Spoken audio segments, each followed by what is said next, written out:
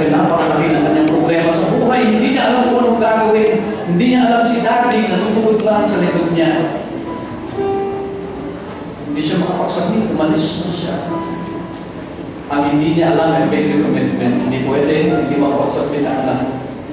Nung umalis na at sumakay ng school bus sa anak ko, hindi niya alam. Nagkaroon na ng kuryente. Tapos printed ko yung kanyang trabaho. And then I had to text her and told her, anak, I've got your work. You'll be able to submit today. Abangan mo ako, nagkita kami and she was able to submit ang kanyang project. Alam po ninyo, sa buhay may mga bagay-bagay na nangyayari na hindi natin alam. Akala natin, okay na okay, biglang ma-brown out ang buhay, the very things na inaasahan mo, hindi mangyayari, malulubak. At hindi mo alam kung ano nangyayari sa iyo, huwag kang mag-alala. Tanungin mo ako, bakit? Bakit? Tingnan mo si Lord, pinapanood ka. Huwag kang mag-alala. Pwede mo malakpan, sige.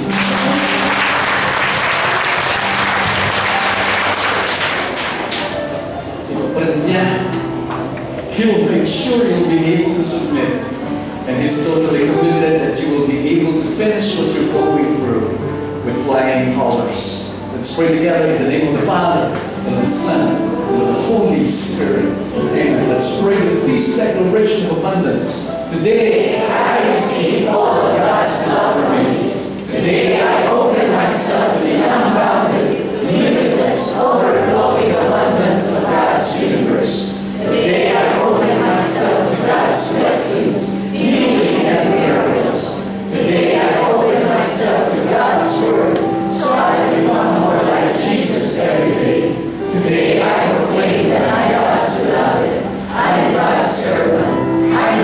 powerful champion. And because I am blessed, I'm blessing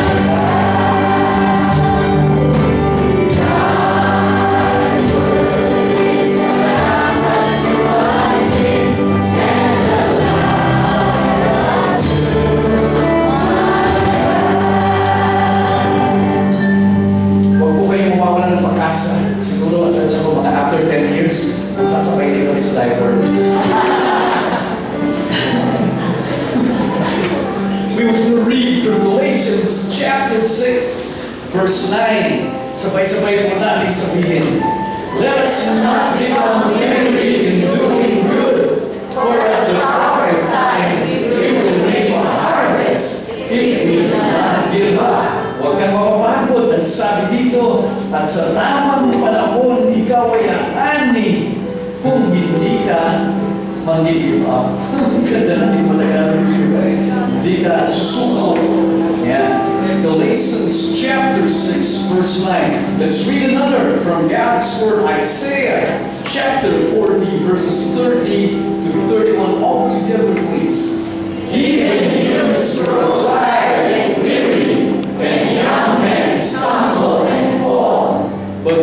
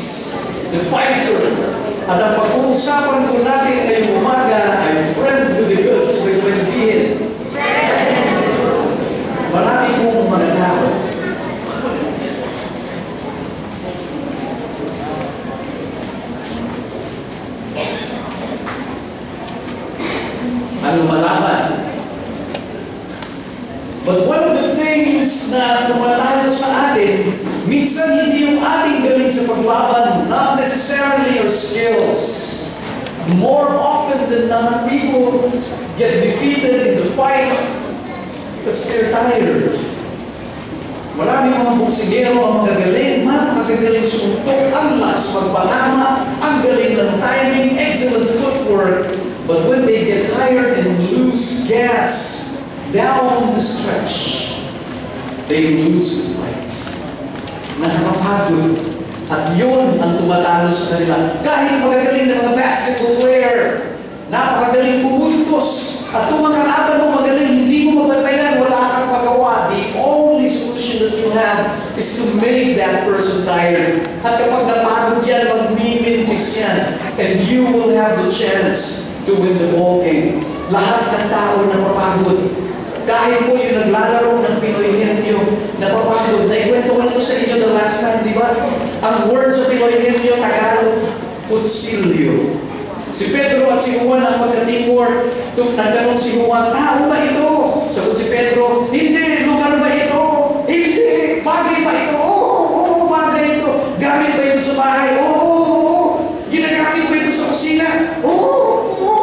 Madaling ba ito? Oo, madaling na. Ginagamit ba ito panghiwa ng sibuyas at bawang? Oo, oo, oo. Pass.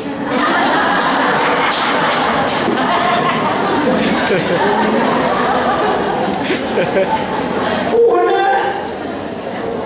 Pero dahil napagod, natalo, ayaw na. Ang sundalo ay magaling kapag napapagod na gagabi. Ang tawag ko dito ay battle fatigue. Ano ang gagawin mo? Kapag ang gera mas matagal kesa sa inaasahan. Nagdasal ka na, nang nagdasal. Kung sinabi sa feast, magdasal ka, nagdasal ka naman. Naniwala ka kung sinabi, dapat kang maniwala. Nagdaas ka ng lubigan to God's love. Sinabi mo dyan, yung mga pababago na nais mo pagganap sa iyong buhay. Tapos pagganap tinataas mo pa, sampung lubigan to God's love pa ang tinataas mo. Kaya may anak linya, gano'n. Sumasakit ang kilikili mo, kakataas. Pero para mag-usapang binig ang lahat, hindi naririnig, walang nangyayari. Meron dalawang bingin nagkita sa kalsada, yung isang bingin may dalang. Ang sabi ngayon ng isang bingin dun sa nasalubong niya kay Bigong Bingin, Barak, mamamalengke ka ba? Sagot yung isa, hindi. Mamamalengke ako. Ah, ganun ba? O kasi akala ko mamamalengke ka eh. Ang labo. Ginawa na natin ang lahat ng dapat natin gawin, pero wala naghihintay pa rin. Nakakapagod ang labanan. Minsan, hindi man hindi nangyayari.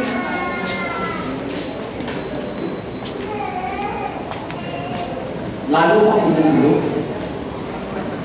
Naikwento ko na to sa inyo. Meron isang lalaki, pinakasalan niya isang biyuda. Gulo kasi yung tatay niya, yung, yung napasawa niyang biyuda, may dalagang anak. Tapos yung tatay niya, pinakasalan yung dalagang anak. Yung napangasawa niya. So sabi niya, pinakasalan niya itay yung dalagang anak ng asawa ko. Lumalabas na nanay ko ang anak ng aking asawa. At si itay ay anak ko. Ang asawa ko naman ay biyanay ni itay. Nagkagana sila, ako ngayon ang lolo ng kapatid ko. Ang gulo. Ano bang pipiliin mo? Ang hirap lumaban lang, gumugulo, bumitaw ka na lang. Kagaya ng ginagawa ng iba, isa kong katotohanan, truth number one, totoo ang pagod at hirap. Totoo ang pagod at hirap, hindi mo kakang-isip yan. No? Napakalaking i-judge ang mga Israelita. Kapag binabasa mo ang Biblia, kapag nanonood ka ng Ten Commandments sa araw-araw, kapag nagsisimula silang magreklamo sa hirap na kanilang dinadanas, bakit sila magreklamo? Nakita nila the parting of the Red Sea, nakita nila ang kanakinangan at imanaan ng Diyos. Ngunit kung kayo po ang makakaranas nito, nakwento ko na sa inyo, I've been to the Middle East, I was doing missions there for quite some time, for two weeks, nung maniwala ko kayo sa akin, kapag tumungtong ang 51 degrees, sobrang init. Wala pa ako sa disyerto niyan. Nasa na ako ng bahay. Yung umiihip na hangin galing sa electric fan, pwede kang gustahin. Hindi ka pwede maligo ng diretso sa shower, maluluto ka. Pwede kang magtimpla ng kape. Wala kang pa sa disyerto niyan. Yung magtipong kung maitim ang kutis mo, isang hatsin mo lang tostado ka na. Talagang magre-reklamo ka. Ang daling i-judge ng mga tao. No? Hirap na hirap ka na. I- Kahit sa mga ilang bahagi ng buhay mo. Eh, di ba na ikwento ko rin sa inyo? Merong isang babae na talaga happy-happy siya. Akala niya ikakasal na siya. Ang ganda ng relationship ng boyfriend na biglang yung boyfriend na wala. Wala ni Honey o hindi niya makita na disappear. After a year, lumitaw yung boyfriend. At nakipagkita sa kanya pero nakatalikod. Isa lamang ang lumabas sa bibig ng babae nito. Mahal mo pa ba ako? Hindi ko ang boyfriend. Binulit niya, mahal mo pa ba ako? Lumingon ang boyfriend niya, may lipstick na.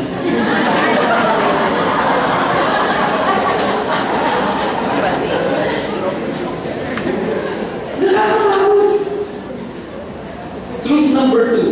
Lahat ng mga naglalakbay tungo sa tagumpay, physical o spiritual, nagdadaan sa kapatiran. Walang lumalaban na hindi na mapagod. Hihingalin ka. Sino sa inyo ang hindi na mapagod taas sa kamay? Mabuti naman walang sinungaling dito. Ang napapagod lang po yung mga walang pangarap sa buhay. Yung, yung, yung mga bumitaw na sa buhay, umayaw na sa pag-asa.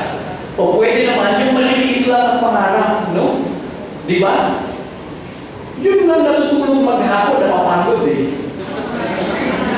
Gigising sa hapon para mag-siesta, pagod na raw siya. Meron po ako nililimusan sa Intramuros na ako'y estudyante pa.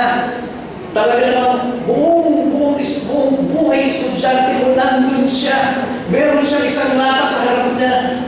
Tapos hinuhulugan lahat ng tao minsan pagdaan ko. Ako po ay nagulang ano niyo, bakit? Kasi yung kanyang lata, isa na di dalawa na. Abay, pinansin ko, bra? Aba, dalawa na? Ang lata mo ngayon. Ang sagot niya sa akin, alam mo, iho, hindi mo na talaga magigilan ng pag-asenso. Kailangan mo ng branch. Mo, hindi ka. Ngunit kung ikaw lumalaban, you fight for something, mapapagod ka. At paminsan-minsan, kapag napapagod ka na, mas nakikita mo ang problema, kesa sa potensyal sa sabihin mo, hindi ko na kaya, you've got to have something to fight for. Pakitabi ko, friends, sa kanan repeat after me. Friends, you've to have something to fight for. Sa kabila ng friend, ang galing mo. Pa-English-English ka pa. And these are the very things that you need to fight for, the 3D. 3D. You Ilang D? Number one, you need to fight for the deal. You would need to say to yourself, kapag sinabi mo, I can't take this anymore. Ipaalala niyo sa Diyos na hindi niya naman nakakalimutan in reality, pinapaalala mo sa sarili mo na hindi darating sa iyo ang isang bagay na hindi mo kayang dalhin. Hindi darating sa iyo ang isang bagay na hindi mo kayang dalhin. 1 Corinthians chapter 10 verse 13, the promise of God for you and me is very clear. Walang magaganap, walang ahayaan na maganap sa iyo ng Diyos na wala kang lakas upang pagtagumpayan ang mga bagay na ito. In fact, in the Bible verse that I've mentioned, sinabi dyan, even before the trials come, the strength to, over, to overcome has already come. Binigyan ka ng lakas ng Diyos upang mapag- mapagtagumpayan the lahat. Philippians chapter 4 verse 13 says, I can do all things through Christ who strengthens me. Hindi sinabing I can do some things. Hindi sinabing I can do many things. Hindi sinabing I can do most of the things. The Bible was full and clear. I can do all things through Christ who strengthens me. Ito ang dakilang pangako ng Diyos. Pwede mong ibalik sa Kanya ang sinabi niya, Lord, you said I'm armed with strength for the battle. Romans 8:11 the same power that raised Jesus from the dead is with me. And the list can go on and on and on. Don't talk about where you are. You want to talk about where you want to be. Because God promised to you. You want to fight for your destiny. Sabay-sabay sabihin, destiny. Destiny. What is destiny? Destiny is the way you choose to be. Gumagaling na kayo. Alam niyo na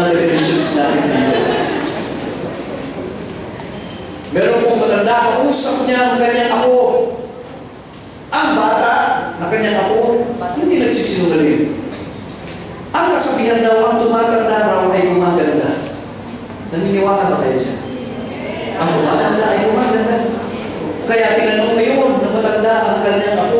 Sabi niya, apo, gumaganda ba ako? Sumagot naman apo, Lola, hindi po kayo tumatanda. That's our destiny.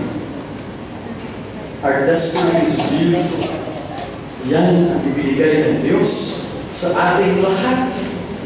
Sino po dito sa inyo naniniwala kayo that you've got a glorious destiny? Taas ang kamay. May sabi, na ang pangarap ng Diyos sa inyo, ang destiny ay matupad lahat ng pangarap ng Diyos sa inyo. Sabay taas ng kamay! That your destiny is to have a glorious family life. Taas ang kamay. Sabi, "Yay!" That God wants to bless you with all abundance. That is your destiny. Taas ang kamay.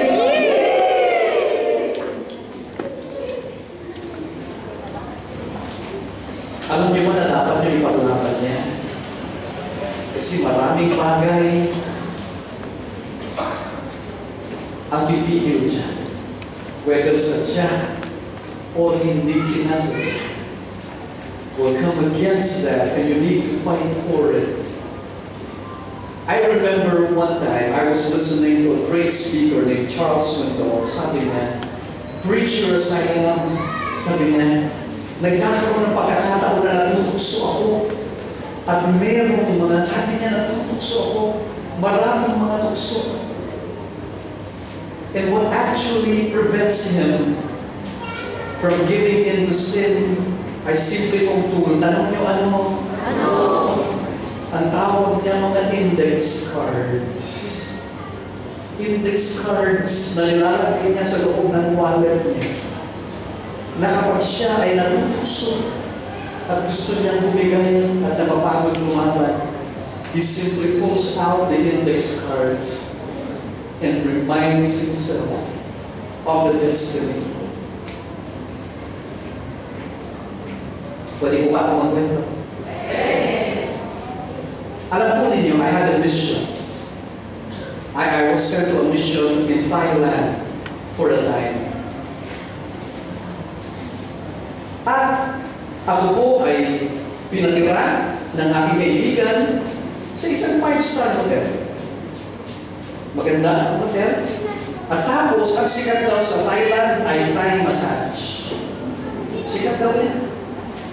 At hindi po ako nakapagmasahe, nakakapagpamasahe sa buong buhay ko ng gano'n. E di, nagpasama ako sa isang Vicente na lugar I want to have a cultural, quote-unquote experience.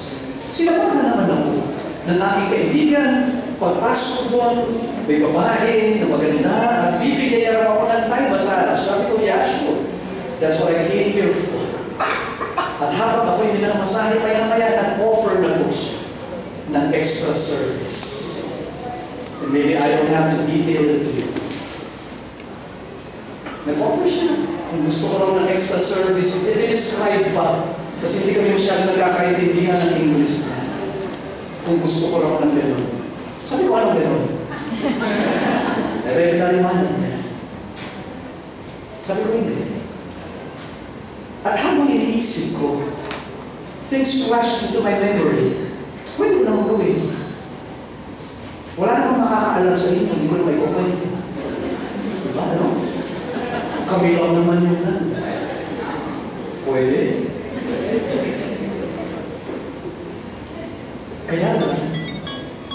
I down, out, pulled out the index card in my mind and in my heart.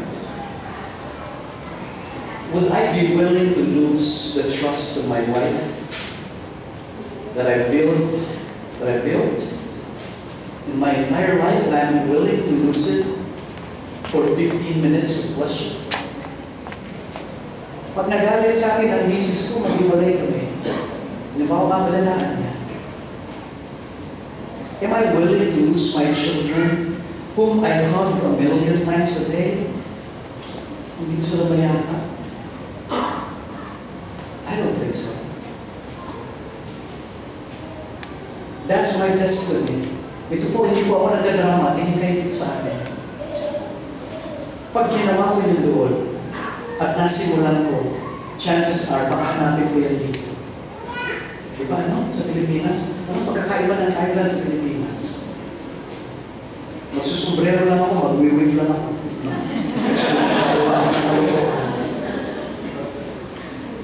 But if I do that, am I willing to lose your trust? That people come to me and say, Brother John, can you pray for me?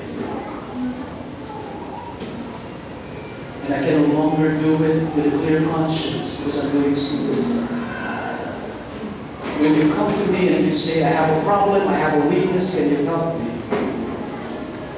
Ano pa pong mukha ang iyaharap ko sa inyo? Am I willing to lose that? I don't think so. I pack things up, I walk away. I'm not willing to give up my destiny. Patatawarin naman ako ni Lord. Tama o tama? Garantisado po yan, papatawarin ako ni Lord. Kaya nga, alam niyo ba kung bakit galit ang Diyos sa kasalanan ng inyo? Kung bakit? Because sin drives you away from the glorious destiny He has in store for you. Inalalayo ka, pinatatagal ka, itinataboy ka. Pwede ka naman patawarin and sure God will forgive you. There's no doubt in my mind, pero alam mo ba, na parang fork yan, parang sa handaan. If you choose the wrong way, habang tumatagal, lumalayo, palayo ka ng palayo, it's getting harder and harder to get back on track to the dream. Am I making sense here? That's why God hates sin. Mahirap habang nagpapatalo ka, humihirap ang landas pabalik. I've shared this to you before, meron po isang bata na ipag-usap sa kanyang lolo na Indian. Cherokee, sila alam niyo ba yung Cherokee? Isa tribo ng mga Indian. Una, masaya-masaya yung, yung ako kasi dumating yung kanyang lolo. Sabi niya, lolo, buti naman dumating ka. Bakit ako? Akala mo ba hindi ako darating? Oo, lolo, kasi Indian ka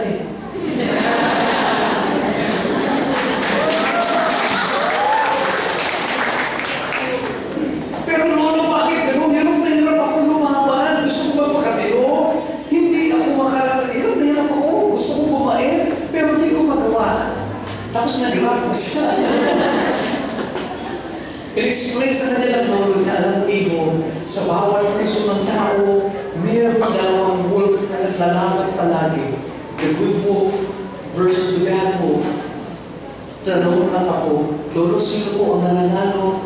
Alam mo, ang nananalo kung sino ang madalas mong. If you feed the good wolf every time, you win. But if you feed the bad wolf most of the time, you lose the fight. Who do you feed? You want to friend the good wolf. You want to feed it.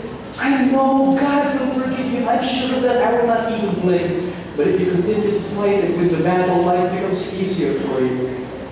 Kaya pala sabi ng Biblia, if you faint not, last. Ano yung una? You fight for the deal. Number two, you fight for your destiny. And thirdly, you fight for the daily dose. May paraan po upang matanggap ang sariwa at panibagong lakas ng Diyos. Tanungin niyo kung? Ano? Mas malakas ano? Abay, simple po. The dose every day. Isaiah chapter 40, verses 30 to 31, it says there, Those who wait on the Lord, they shall renew their strength. Ang literal translation oh, po ng wait on the Lord is those who hope in the Lord. At sa they will and not grow weary. And on the wings, they will soar on wings like eagles. Ito po, ang ibig sabihin niya, bibilisan ko lang. Hindi lamang ibabalik ng Diyos ang lakas sa atin, bibigyan tayo ng higit pang lakas. Mas pa tayo nalipad. At ang pagbigay niya sa atin, ito, ang sabi, they will walk and not faint. Sa Tagalog, ikaw ay maglalakad at hindi magpipintura.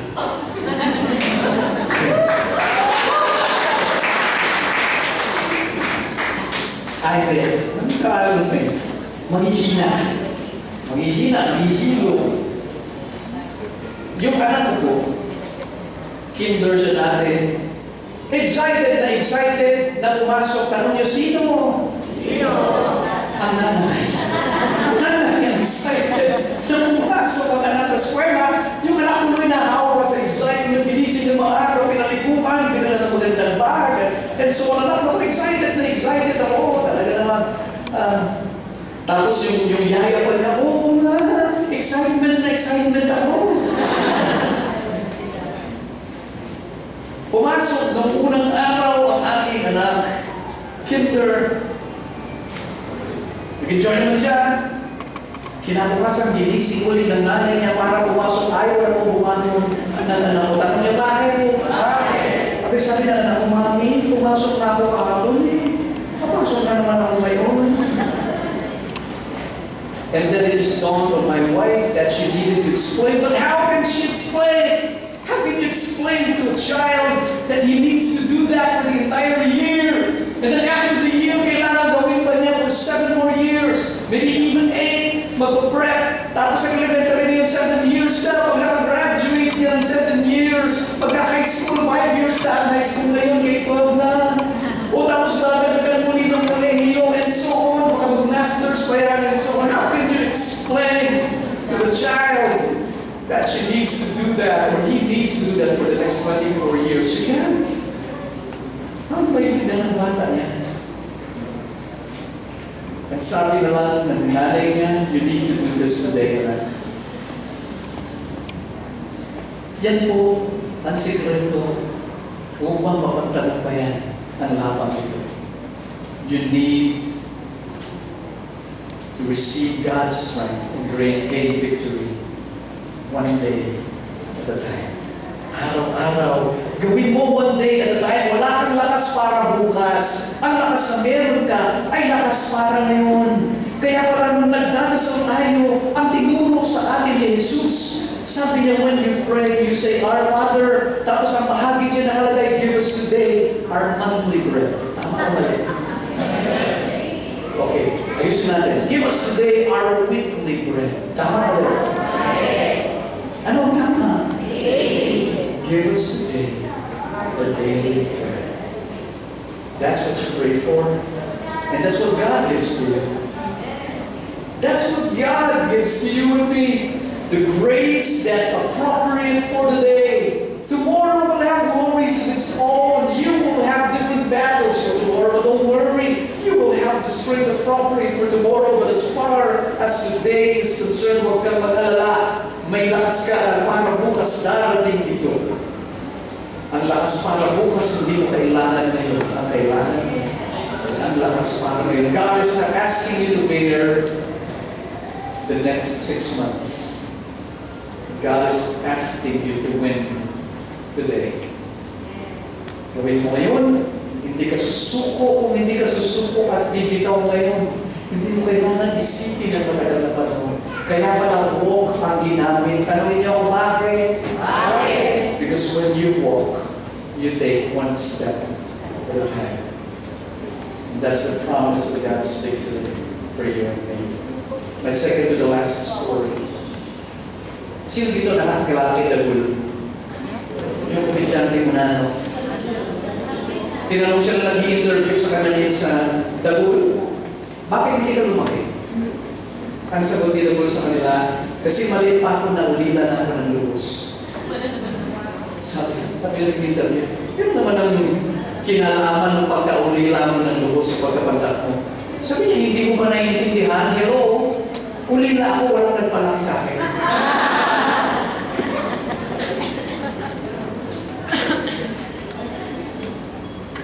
Madalas, ang nagpapaburden sa atin, nakakapagpagod, ay we don't have the purpose to fight for. But we want to fight for the dream, we want to fight for the deal, you want to fight for your destiny, and you want to fight for the dogs. I'd like to end, can we all stand with this?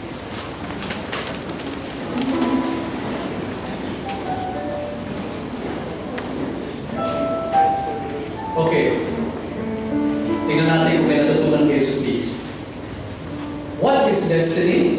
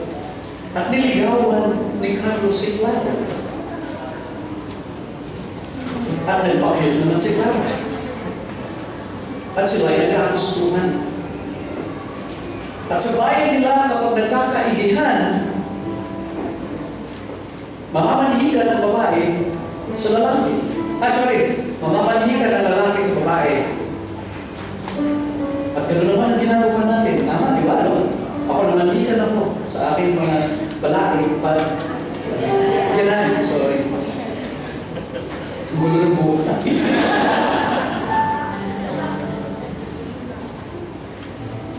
Tapos, di ganun ang nangyari.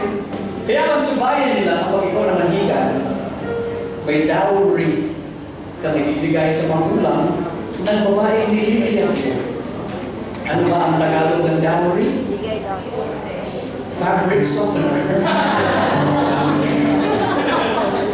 Ah, Lote. Di ba lupa yun?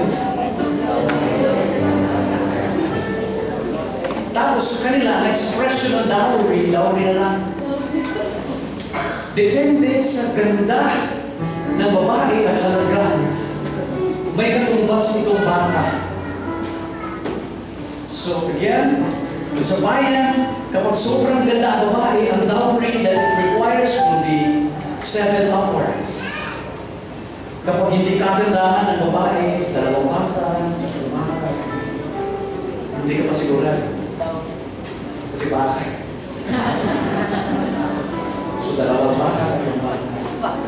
So may nagkaibigan sila, si, si Carlos at si Clara, at dumating na ang punto na nag-gather na ang buong angkan ni Clara sapagkat yun ang araw ng schedule na papanhig si Carlos upang kausapin ang tatay ni Carla at hingin ang kanyang kabahay in marriage. By the way, bago ko dyan po ito, nag-uusap-usap pala yun yung tatay at mga lolo-lola, kamag-anak. Mag-decide sila para they are in one mind ano ang dowry na hihingin natin sa binata? Una, kinikilig yung mga lola. Kasi sabi nila, jackpot si Clara dito kay Carlos. Kasi si Carlos matigulo, masipag, responsable, and he will make a good husband and a good father. Jackpot si Clara. Huwag na natin pakawalan to. On the other hand, si Clara kung hindi kaganda, hindi pantay ang mata. Yung ilong niya maliit kumpara sa kanyang mukha. At ang labig niya ay makapal. So nag-usap-usap yung mga elders at sinabi, kapag nandun na sa dowry ang usapan para sa kapakanan ni Clara, ang hingin natin sana umakyat si Carlos. One cow. Sa mata. That was the script. Ganda na ang usapan. At sinabi ni Carlos, Sir, pag-usapan po natin ang dowry. Sabi ng tatay, o sige, hiho ka na kami dyan. Ang dowry, nahihingi namin sa'yo. And we pray that you'll find it acceptable. One cup.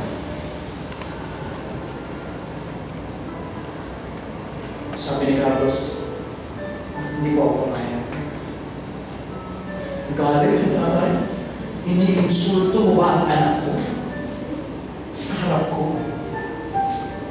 Isang baka na nga lang ang hinihingi ko, hindi ko mapapayag. Iniinsulto mo ba ang anak ko sa harap ng buong angkan? How dare you? Nag-English pa.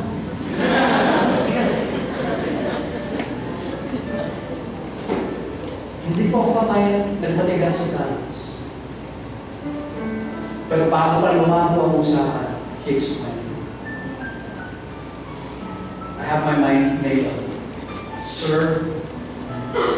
I don't believe in what you're asking for. Because I'm willing to give for Clara ten cows.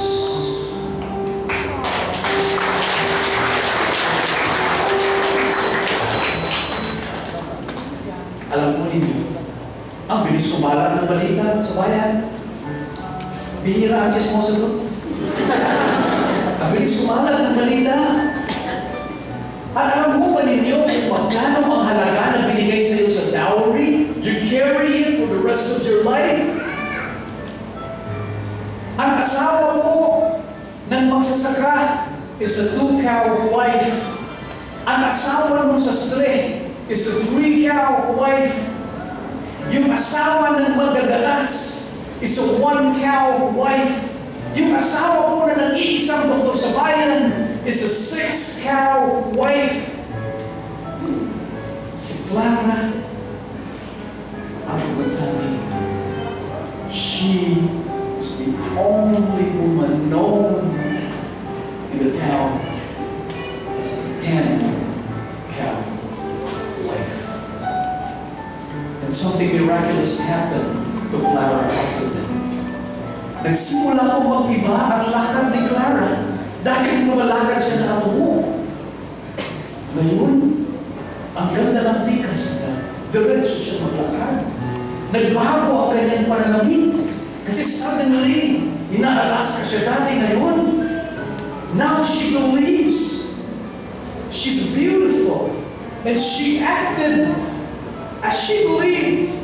Nagsimula mag-ayos sa sarili at nasimula makita ng buong bayan ang totoong ganda na itinatawag ni Clara. She had an extremely brilliant personality.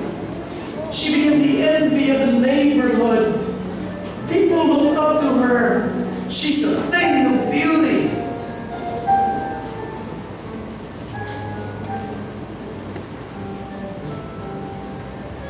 We look at ourselves.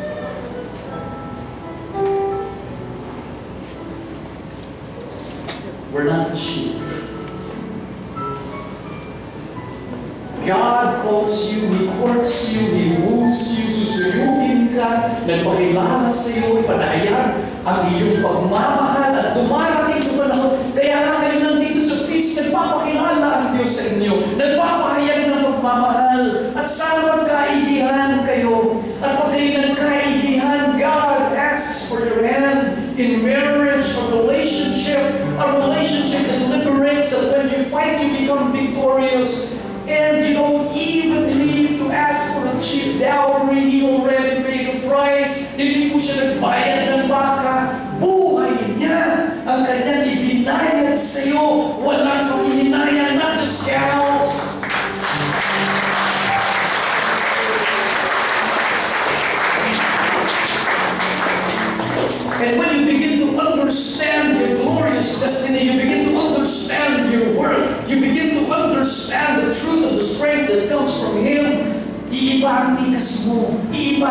mo. Yung mga dati-dati na na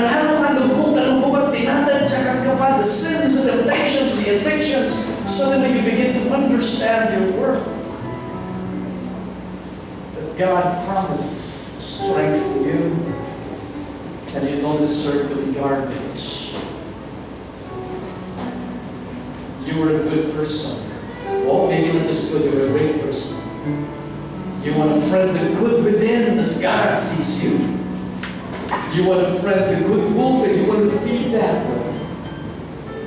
And you want to friend the good and great destiny that God has in store for you. Let's pray together in the name of the Father, and the Son, and the Holy Spirit.